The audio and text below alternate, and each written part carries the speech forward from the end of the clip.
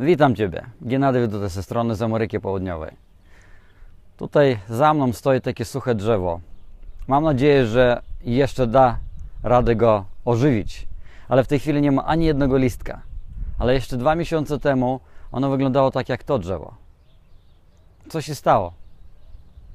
Prosta sprawa.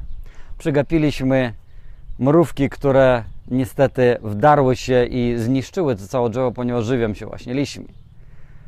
Niezauważalne mrówki, które nie widzieliśmy z odległości, nie pilnowaliśmy tego tematu i niestety zniszczyły tak potężne drzewo. No może nie zniszczyło, może jeszcze te liście odrosną, ale niestety wyglądało tak. Musieliśmy zwalczyć ich, je, ale trochę być może za późno. Dlaczego o tym mówię teraz? Na pewno wiesz, że to nie chodzi o mrówki dzisiaj, tak? Chciałem powiedzieć Tobie, że opinie innych ludzi, o ile pozwoli, żeby wpływało na Ciebie, przemienią Ciebie nie do poznania. Po prostu.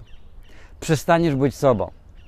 Będziesz starał się wyginać się i gimnastykować się i przybierać formę taką, jaką inni ludzie chcą, żebyś Ty był.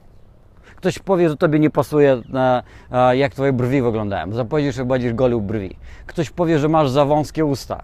Jeżeli jesteś kobietą, to wiesz o, co o, czym mówię. To pójdziesz, będziesz szczekiwać sobie bot- botox. Ktoś powie, że masz a, niekształtne to i tamto i tak dalej. Będziesz cały czas, albo moda będzie taka, żeby robić to lub tamto i tak dalej. I cały czas jesteś jak tam kukiełką, jak jesteś, nie jesteś sobą. Ej, Pan Bóg Ciebie stworzył takim, jakim Ty jesteś. I najwięcej i najważniejsze, czym powinien się wyróżniać, to to jest Twój charakter. To jest Twój uśmiech. To jest to, co masz tu i to, jak to używasz. Więc przestań kierować się opiniami innych ludzi. Przestań się bać tych opinii. Przestań być uzależniony tego, co ludzie o Tobie powiedzą. Ponieważ to jest Twoje życie. To jesteś Ty sam.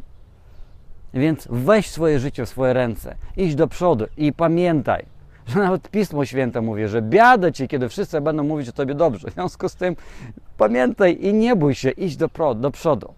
Pozdrawiam Ciebie bardzo serdecznie. Mam nadzieję, że ta rada trafiła w dobrym czasie do Twojego życia. Wszystkiego najlepszego.